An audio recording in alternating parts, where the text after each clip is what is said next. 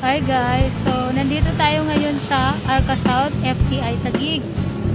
Okay, itutur ko kayo dito.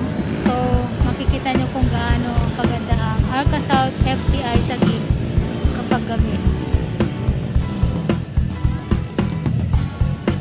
Enjoy! Tara, pasok na po tayo sa Arca South FTI Tagig.